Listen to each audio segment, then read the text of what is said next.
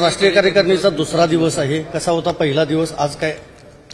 नाही कालच्या राष्ट्रीय कार्यकारिणीच्या प्रथम दिवसामध्ये एक गोष्ट माझ्या लक्षात आली की या राष्ट्रीय कार्यकारिणीमध्ये निवडणूक जिंकण्याच्या ऐवजी देशातील जनतेची मनं जिंकण्याच्या दृष्टिकोनातून चिंतन झालं की आम्ही या देशाच्या जनतेची कोणत्या कोणत्या पद्धतीने कोणत्या कोणत्या कार्यक्रमातून उपक्रमातून सेवा करू शकतो.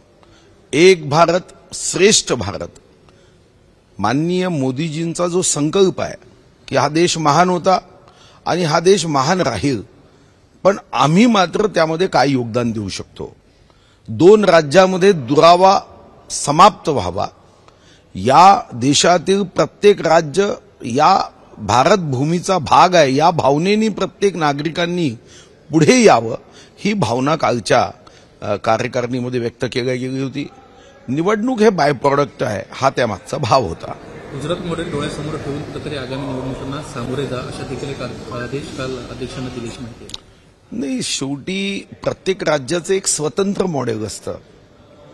गुजरात मॉडेल गुजरातमध्ये मध्य प्रदेश मॉडेल मध्य प्रदेश मॉडेल पण एक मॉडेल समान है चुनाव जीतना ये हमारा लक्ष्य नहीं होना चाहिए। आम गरीब जनता का दिल जीतना ये हमारा लक्ष्य होना चाहिए। आणि त्या दृष्टीने त्याचं नियोजन करण्याचा संकल्प आहे.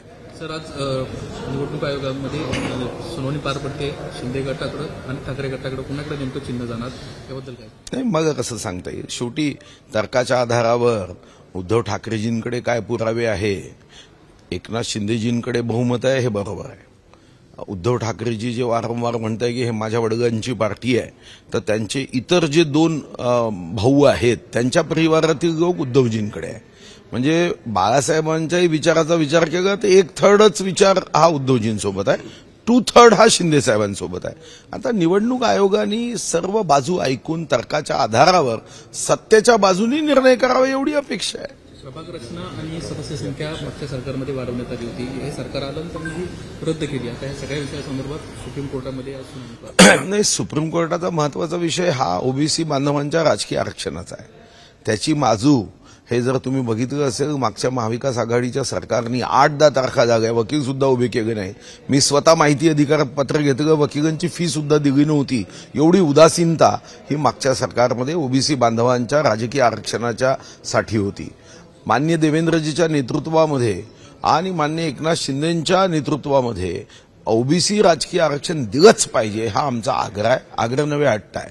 आणि त्या दृष्टीने या संदर्भात सुप्रीम कोर्टामध्ये आम्ही बाजू मांडतोय. आणि मला विश्वास आहे की ओबीसी राजकीय आरक्षण हे माननीय एकनाथ शिंदेजींच्या व माननीय देवेंद्रजीच्या नेतृत्वात आम्ही टिकू आणि ओबीसी बांधवांना न्याय देण्यामध्ये आम्ही कुठेही मागे पडणार एबीपी माझा उघडा डोळे बघा नीट.